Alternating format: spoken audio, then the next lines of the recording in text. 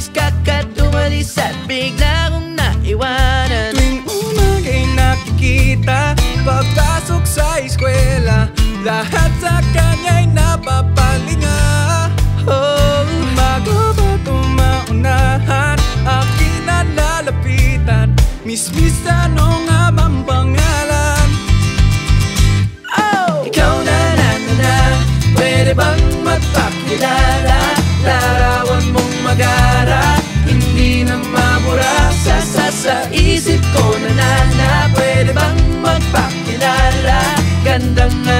nagidasal yan Nagkakahalina na na na Na. Na na na na na na Eto na, eto na. Eto, eto na. Muli ko siyang nakita. Paano na, paano na? Paano na? Kailangan magpabida. Biglang nagkamanggaan. Siya'y aking nahawakan. Kay gandang talaga Lalo sa malapitan Pasimple ng kakausap